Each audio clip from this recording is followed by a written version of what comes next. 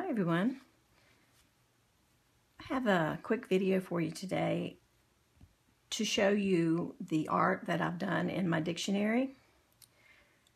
a few months ago I joined a Facebook group called Dictionary Art Journalers and it's just a fun place to uh, get inspiration and share what you've done. If you're the type of person who likes to draw or color or even stamp, and color images and you like to do it on book text, um, this is just a fun way to do it and keep track of it all in one place. And so all of the dictionary art that I do will be done in this dictionary. And so I just wanted to share with you, I have just a few pages done uh, so far, but I wanted to share it with you and um, hopefully inspire those of you who are interested in doing the same type of thing. So the first one that I did was um, back in April, and it's coffee. And what I like to do is circle the word on the page. This is the page that has the word coffee in the dictionary. And then I also stamp it um, with some letter stamps down here or somewhere on the page. So that's the first one I did of uh, the coffee cup. And then the second one Actually, I think it's back this way. Yeah. The second one is a bluebird.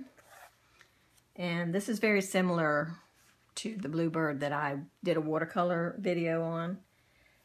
But um, I just enjoyed drawing him so much, I decided to draw him again in my dictionary so that I could have it as part of this collection. And uh, this was drawn from a photo on the internet. Uh, the coffee cup is just drawn out of my head. I wasn't looking at anything really to draw that. Okay, the third one, um, this was also done in April. Okay, the third one is a painted bunting. And I drew this in April um, from a photo that I found online.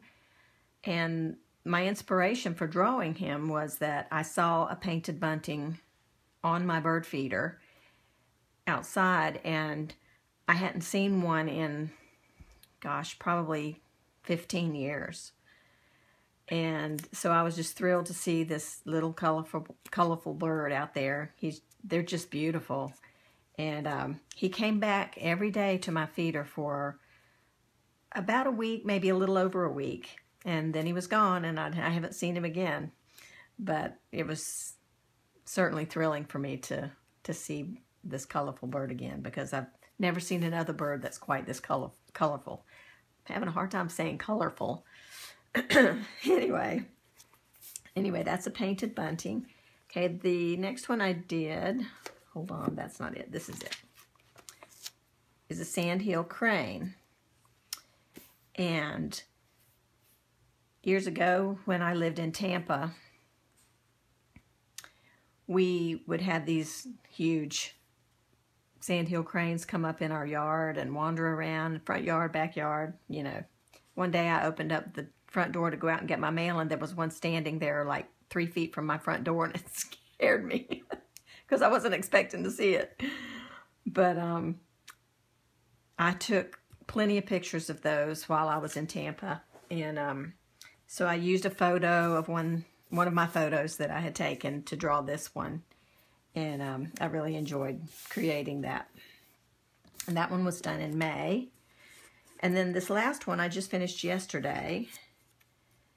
And it's a dragonfly that I drew from a photo I took in my yard. Day before yesterday, I took the picture. So I just loved the, the, the picture so much. And this little dragonfly was just so cute.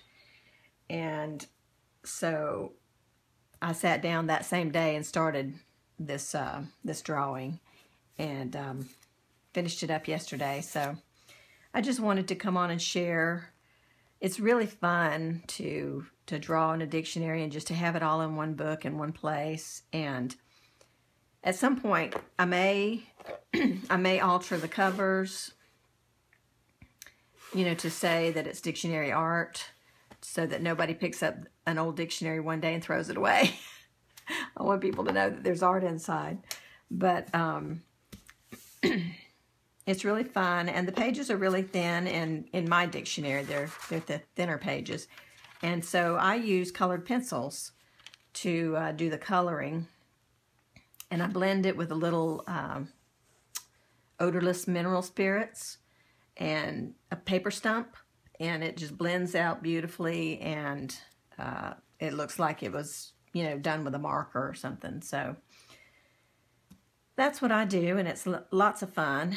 I also used some uh, Micron uh, pens, like to, to draw the wings and to outline the uh, dragonfly. So, uh, yeah, I'm going to put a link in my description for the uh, Facebook group.